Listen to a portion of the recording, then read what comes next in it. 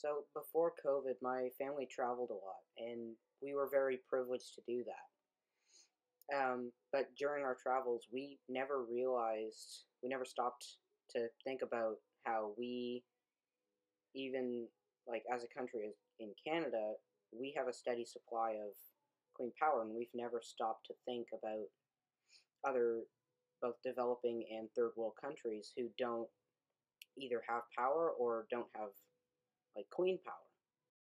So I wake up and I grab my computer and I turn on my lights and I have all the Wi Fi and the power that I would ever need to go into online classes. Could you imagine a place where you wouldn't be able to turn on your lights or plug in your computer when it dies or even have a computer or Wi Fi? I've been thinking a lot about this and the global goal that the UN has set to bring the cost of renewable energies um, down so that third world countries and uh, developing countries have access or more access to cleaner power. Even in Canada, initiatives like Bullfrog Power have been started where individuals can pay more for their electricity, but Bullfrog Power would take that money and invest it in cleaner energy. But what about the rest of the world? I've researched three different places that were very heavily reliant on fossil fuels and coal. Um, but in the last couple of years, they've switched over to be 100% renewable. Starting closer to home is Kitu Xi Axis. Kissimmee Xi Axis is a First Nations community located in British Columbia. They've gone completely green and use a number of different renewable energy sources to power their community, including three wind turbines, a small hydro plant, and a 23 kilowatt solar panel. In 2021, they are also adding hydropower to their mix of many already renewable energies.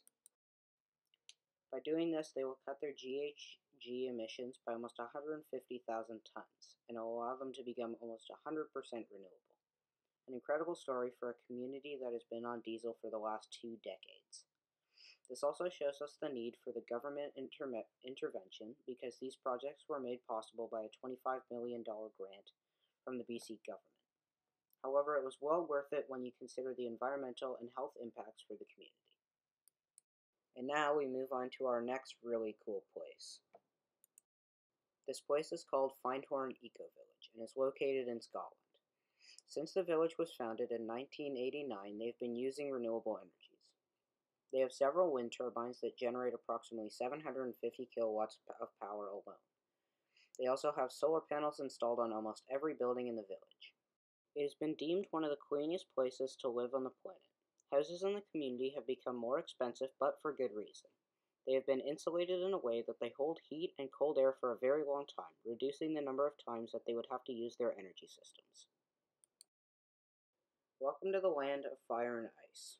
Iceland is the last stop on our journey through three incredible places that have made renewable energy affordable and available to their citizens.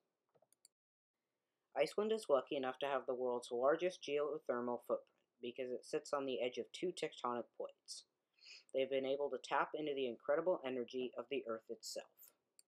Iceland in the 1970s was considered a developing country. They heavily relied on oil and coal and only used geothermal to heat their water for baths. The difference with Iceland is that it wasn't just their government making the decisions. The whole population came together and made a decision to stop using oil and coal because it was costing the country too much money.